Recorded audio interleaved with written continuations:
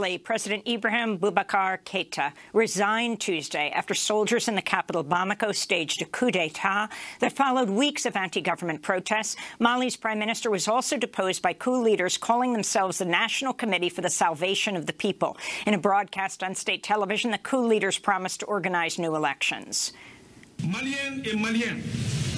We are not keen on power, but we are keen on the stability of the country, which will allow us to organize, within the reasonable time limit, general elections to allow Mali to equip itself with strong institutions capable of handling our daily lives and restore the confidence between government The United Nations and African Union condemned the coup and the arrest of Mali's president. Opposition leaders praised the coup as a popular insurrection. Before Tuesday's coup, the president faced weeks of protests against rampant corruption, police brutality and mounting violence from separatist groups in Mali.